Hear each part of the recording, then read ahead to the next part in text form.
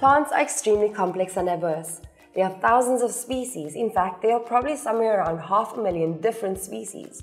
And these are just the ones we know about. There are no doubt many more that haven't been fully discovered yet.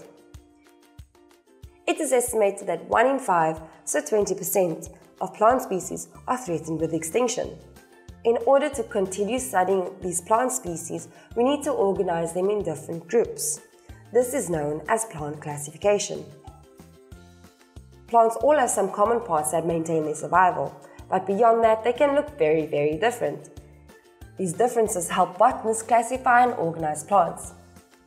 Plants within a group are more closely related to other members of their own group than they are to members of another group, just like we as humans are more closely related to the great apes than we are to other mammals.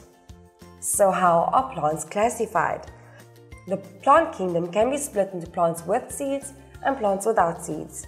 Not every plant grows from a seed, like ferns and mosses, for example. They grow from spores instead. Other plants use asexual reproduction and grow new plants from rhizomes or tubers.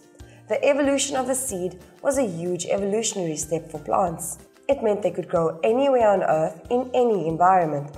They were no longer limited to extremely moist conditions. Seed plants can be split into flowering plants and non flowering plants. These have scientific names of gymnosperms and angiosperms. As in their name, non-flowering plants do not produce flowers.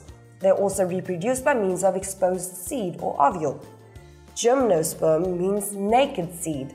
Like with conifers, the cone on a pine tree is a naked seed, and they do not produce flowers. Gymnosperms are usually tall, evergreen trees, often with needle-shaped leaves.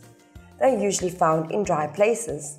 Now, for angiosperms, the largest and the most diverse group in the plant kingdom, angiosperms consist of two major groups monocotyledons and dicotyledons. These groups differ with respect to their roots, stems, leaves, flowers, fruits, and seeds. Some observable differences are that monocots have parallel veins and petals in groups of three, whereas dicots have net-like veins and petals in groups of four or five. There are other differences as well, but we don't need to worry too much about these at this stage. Grass and maize are examples of monocots, whereas trees, sunflowers, and roses are examples of dicots. So there we have some of the ways plants are classified. You need to remember that non-flowering plants are called gymnosperms and have naked seeds.